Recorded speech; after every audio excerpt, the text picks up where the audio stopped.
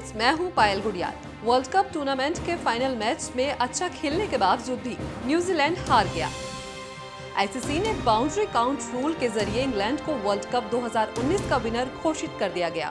इस रूल से England world cup तो जीत गया, लेकिन टूर्नामेंट के इतिहास में पहली बार इस्तेमाल हुए इस रूल पर सवाल खड़े होने शुरू हो गए। वहीं अब लीजिए आईसीसी के इस नियम की आलोचना करने वालों में अब बॉलीवुड के महानायक अमिताभ बच्चन का भी नाम शामिल हो गया है। अमिताभ बच्चन ने ट्विटर पर एक जोक शेयर करते हुए आईसीसी का मज़ाक उड़ाया है। अमिताभ ने लिखा आपके पास दो हज़ार रूपए मेरे पास भी दो हज़ार रूपए। आपके पास दो हज़ार रूपए का एक नोट मेरे पास 500 के चार कौन ज़्यादा अमीर आईसीसी जिसके पास 500 के चार नोट वो ज़्यादा रईस है। प्रणाम गुरुदेव। इसके अलावा बिग बी ने आईसीसी के इस रूल से जुड़ा एक और ट्वीट किया और लिखा इसलिए माँ कहती थी, चौका बर्तन आना चाहिए। तो देखा आपने, अमिताभ बच्चन ने न सिर्फ़ आईसीसी के फैसले का मज़ाक उड़ाया है, बल्कि उनकी आलोचना भी की है। बता दें कि बिग बी से पहले बॉलीवुड एक्टर शाहिद कपूर और परेश रावल भी आईसीसी पर अपनी भड़ास निकाल चुके हैं। बता दें कि वर्ल्ड कप 2019 में इंडिया ने बेहद ही शानदार गेम खेला था। हर किसी को उम्मीद थी कि इस बार वर्ल्ड कप भारत ही जीतेगा, लेकिन ऐसा नहीं हुआ। भारत न्यूजीलैंड के खिलाफ सेमीफाइनल में हार गई थी। हालाँकि उसके बाद भी हर किसी ने भारतीय क्रिकेट टीम के हौसले की खूब तारीफ़ की थी। वैसे आप अमिताभ के ट्वीट से कितने सहमत हैं? हमें कमेंट करके ज़रूर बताएँ।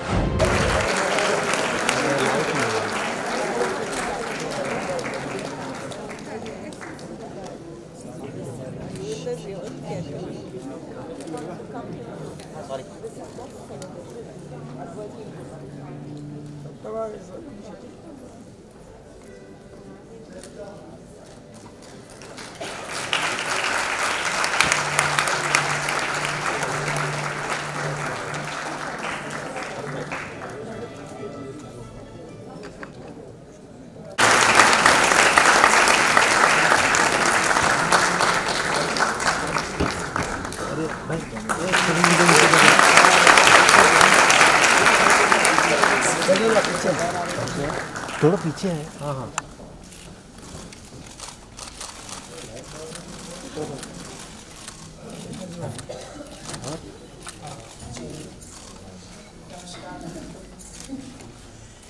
know, do you remember in France earlier this year, um, I said to you that the extraordinary gift which you have given me is um, the two of you coming here for an like this. Remember, we were talking about this, and I said, um, this is the first book that I've published uh, after my father passed away. And having them here makes me feel um, infinitely less orphaned.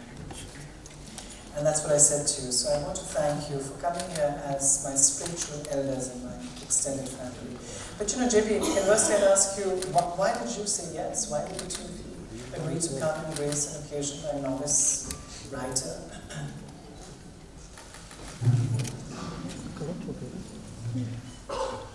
Because you asked me.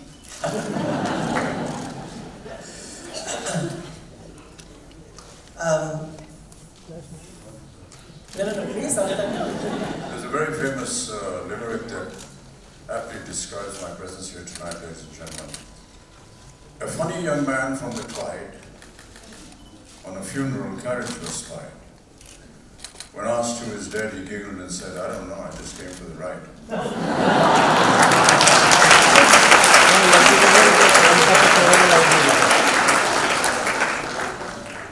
चेहरे पे light नहीं गिरा Thankful there are many uh, repartees I could offer, but I shan't. I'm going to discontinue the door clapper. uh, I'm thankful you grew up in a literary household. um, your father, Dr. Harivansh Rai Bachchan, was a legendary poet. What was it to grow up in a household of books? You kept away from his room. and there was uh, an unwritten code of conduct in the family that when my father is writing in his study, he is not to be disturbed. Uh, many a times uh, we found that to be a little odd but then mother would explain to us that uh, it's important for creative people and particularly the writers uh, to have their moment of solitude and to be able to express themselves. They needed the peace and harmony of a home to be able to do that. That was some of the early impressions that we had. Um, but as we grew up, um, there were many occasions when, uh, uh, if he was doing an important piece of work, um, I remember that uh, he was asked by uh, Pandit Jawaharlal Nehru to translate uh, a biography on him written by Michael Brecher uh, into Hindi, and uh, there was a deadline that he had finish before, the, before his birthday. And he was working day and night, and he put out a little placard, almost like a painting outside the door of his studies. that meant that nobody was allowed to go in and disturb him. And this used to happen for you know days and days and days.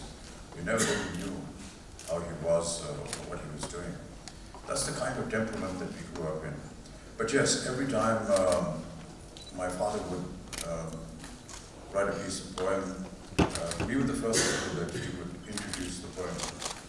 And in particular, he would uh, ask us to read it in almost the same graph and the, and the tone that he had written.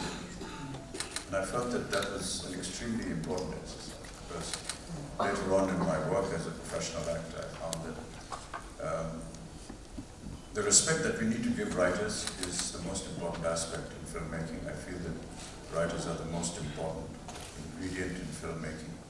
They, you know, design the character, they design the story, uh, they design the dress, the location, everything. And once they write, it's written with a lot of conviction and strength.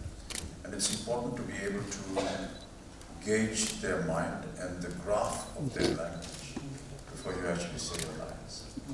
So some of the things that we learned, uh, what I learned from my father was to be able to be able to recite some of his works in the same graph and language. That I found.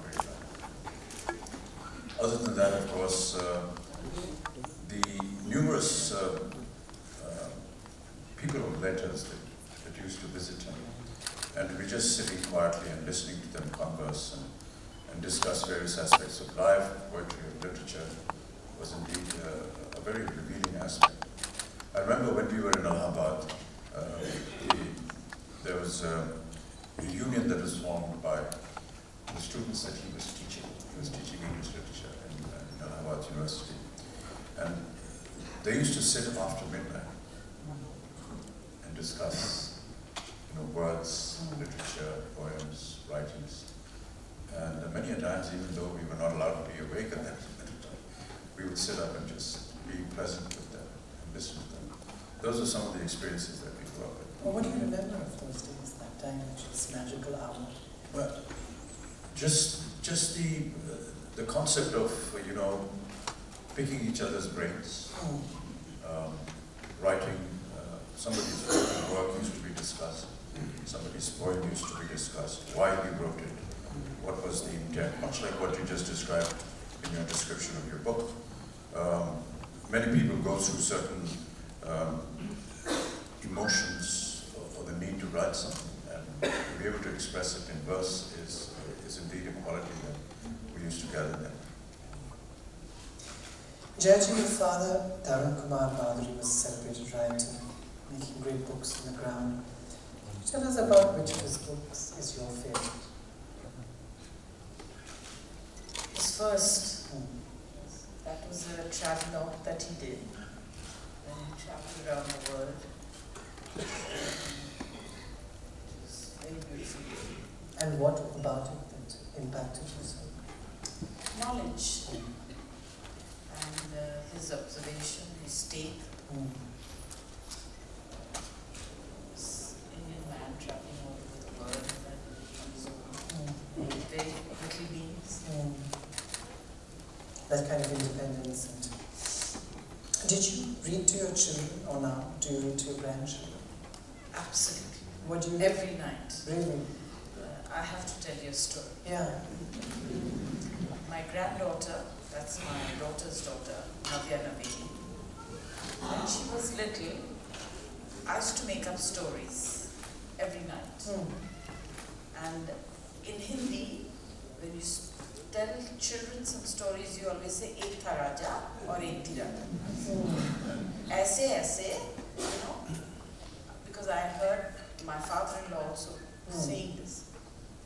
And every day, as they'd get lost in a wood. Mm. The prince and the princess, the king would be worried, the queen would be crying. And I used to every day add a little bit. Uh, fortunately, they didn't live with us. They'd go back to Delhi, so I got some rest. The second child arrived. Now I had to re- tell a story to both of them. Yeah. And I started telling the same story, uh, adding a little bit, and paying a little more attention to the prince as well. It used to be more the princess before.